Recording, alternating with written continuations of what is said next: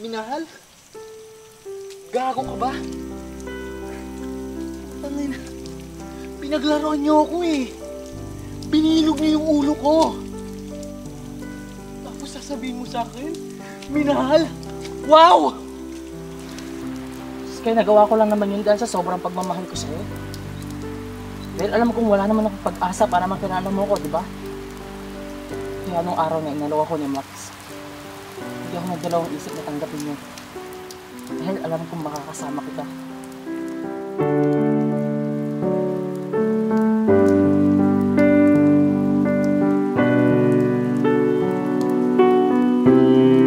Anong Sky?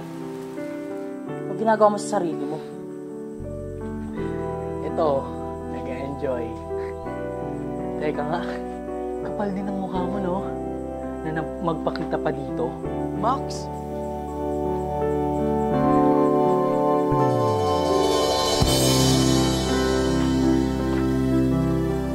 Max?